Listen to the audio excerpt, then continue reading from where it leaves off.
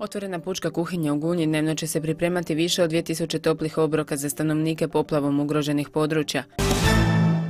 Dani općine Andrijaševci, četvrti bosudski dani, bogat i raznolik višednevni program, o aktualnom stanju i aktivnostima iz posljednje godine više se govorilo na svečanoj sjednici općinskog vijeća. Dan općine obilježeni u Vožincima, položeni vijenci i održana svečana sjednica općinskog vijeća. Na poplavljenim područjima djelatnici plinara Istočne Slavonije provjeravaju stanje plinske mreže. Najveće štete zabilježene na plinskim trošilima i plinskim pećima koje se koriste i za kuhanje i za grijanje prostora.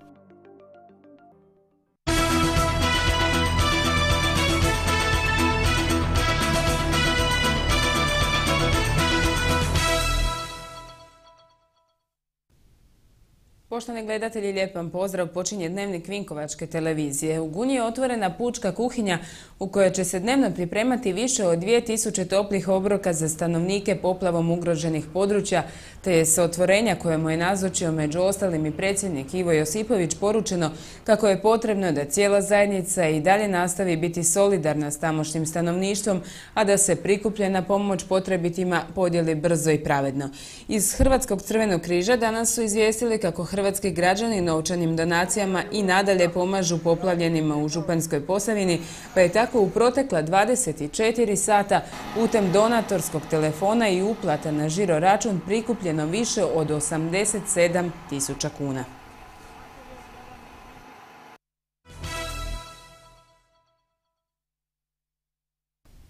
Predizborna je šutnja u oči sutrašnjeg drugog kruga izbora za Vukovarskog gradonačelnika. Uobičajeno prije izbora danas je dan bez reklama, skupova i agitiranja na glasovanje kako bi birači u miru mogli donijeti pravu odluku za sutra. Izborna šutnja traje sve do sutra u 19 sati kada se i zatvaraju birališta.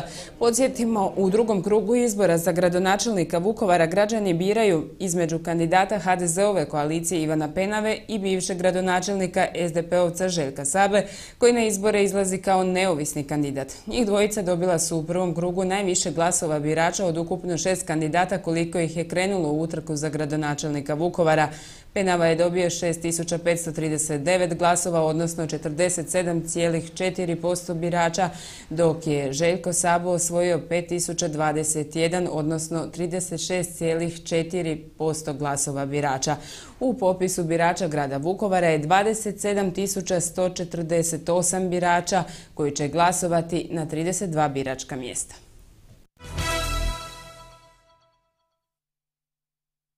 Održavaju se Bosudski dani, dani općine Andrijaševci. Uz bogat kulturno-umjetnički, izložbeni, športski i dječji program održana je i svečana sjednica na kojoj su rezimirane i predstavljene aktivnosti u proteklih godinu dana. Općina aktivno radi i na projektima financiranim iz EU fondova.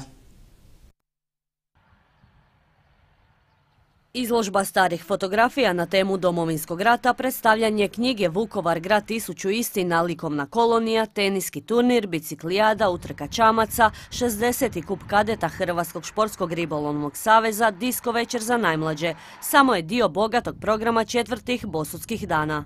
Htjeli smo da, se za svakog nađe po nešto, tako da smo u četvrtak imali program namijenjen najmlađima, djeci, nastup dječje pop skupine, nastup e, Begović Family, nastup Vukorskih Golubića, cheerleadersica i disko za najmlađe. E, jučer smo imali otvorenje prvenstva Hrvatske kadeta za kadete i kadetkinje u Ribolovu isto tako jedno e, otvaranje izložbe, otvaranje radovo drveto. Sve to organizirali smo uz malo novaca i puno entuzijazma naših udruga i društava koje su inače angažirane, od kuda Slavko Janković, zajednice žena pa do športskih klubova, kaže načelnik. E, vrlo aktivno radi zajednica športskih udruga koja broji sedam, sedam klubova i, i stvarno su jako, jako aktivni.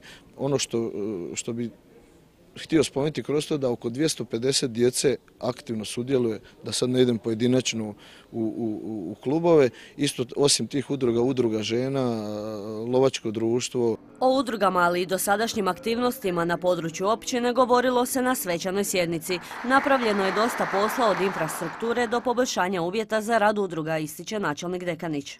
Što se tiče naših ovih infrastrukturnih stvari, objekti koji su u selu bili, e, ajmo reći neke društvene prostorije, su bili dosta zapuštenom stanju dugi niz godina. preko ovih natječaja za domaće europske fondove uspjeli smo izgurati četiri projekta koje su nam platili, pa, Fond za regionalni razvoj platio dokumentaciju i sad idemo u realizaciju. Jedan od projekata je biciklistička staza prema Vinkovcima. Do onog dijela koji je katastarski u našoj općini, zatim izgradnja doma kulture, e, renoviranje e, stare škole, e, isto tako osvjetljavanje ove staze uz Bosut, uređenje obale Bosuta. Osim toga, tu je jedan zanimljiv program posebice za mlade.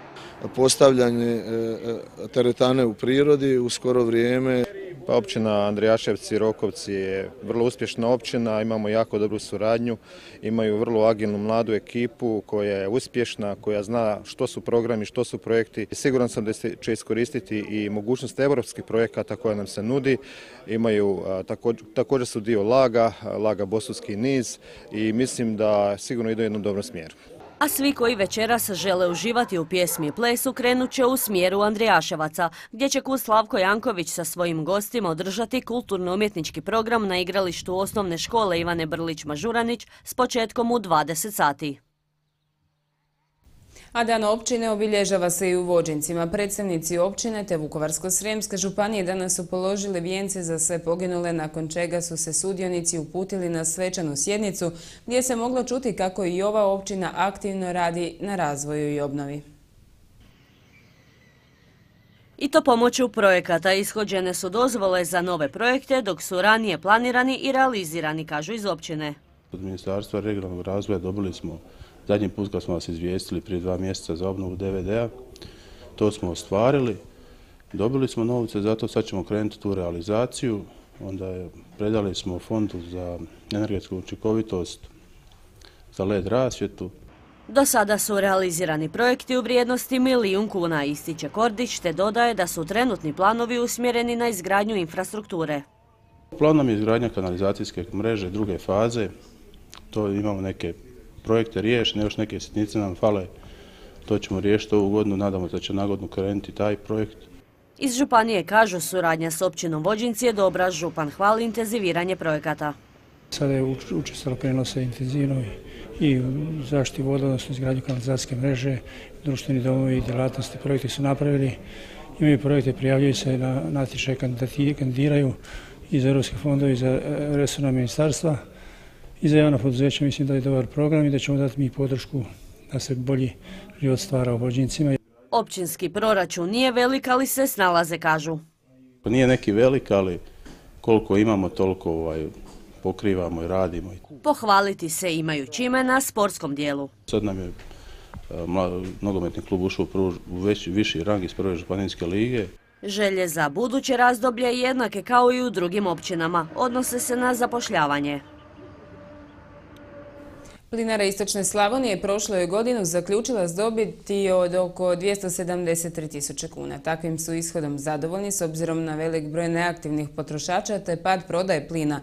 Kada je riječ o aktualnom stanju, odnosno poplavljenim područjima i djelatnici plinare danonočno rade i to na ispitivanju plinske mreže.